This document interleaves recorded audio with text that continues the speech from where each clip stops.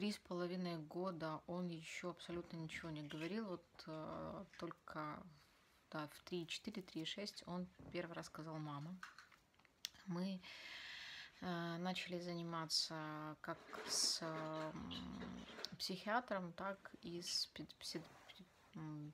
педагогом, который проводит с ним занятия по часу на общее развитие, на речь, занимается абсолютно разными методиками. Э, полтора года активно мы работаем. Психическая стабильность более-менее у него есть, но опять же она связана больше, потому что мы в основном все полтора года находимся на препаратах. Один, второй, третий, их много. Они были чередой, мы пробовали, что-то подходило, что-то нет. Сейчас э, он на препарате, который называется Гамалета B6, только его принимает, больше ничего. Э, но вот толчка того речевого, который хотелось, все еще нет.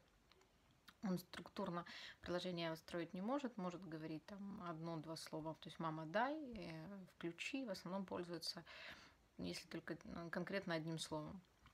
Вот. Словарного запаса где-то до, до там, 15 слов максимум. Э, из э, таких специфических истерик уже э, намного легче, ну потому что, наверное, я больше знаю того, как, как с ним можно находить общий язык, как его понимать, э, но в случае нет, когда не нужно или нет, вот, проблема была с прохождением магазинов, нужно было зайти обязательно купить что-то.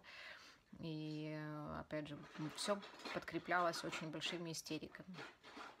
Сейчас с этим немного легче, но э, все равно пора в разных настроениях бывает очень сложно объяснить и э, отсутствие понимания того, что ребенок тебя слышит.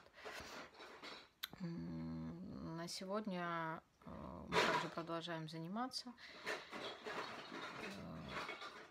Э, пытаемся выговаривать, строить предложения, выговаривать слова. Вот. Очень бы хотелось, чтобы наши усилия не прошли и помочь ему быстрее научиться говорить.